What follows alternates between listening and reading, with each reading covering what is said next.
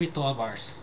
So once you're done with the toothbrush, we have here the catheter.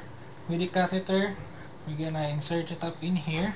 First and foremost, we have to check it up and try to suction it with a specific amount of sterile water if it's able to suck uh, sterile water at all and then make sure it's tightened up not loosen and then once you're about to suction make sure you suction not too deeply not to initiate the gag reflex of the patient.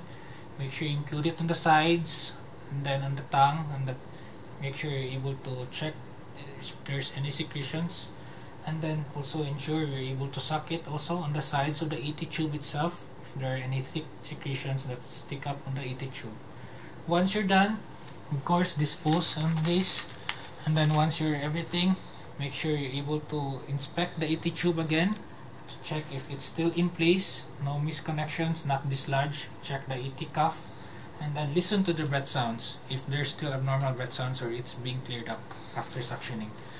Check the vital signs also position the head of the patient back from what's from what it's originally and then make sure you dispose everything such as the gloves mask and the eye shield. And then once you're about to go outside make sure you wash or sanitize your hands and then of course document chart everything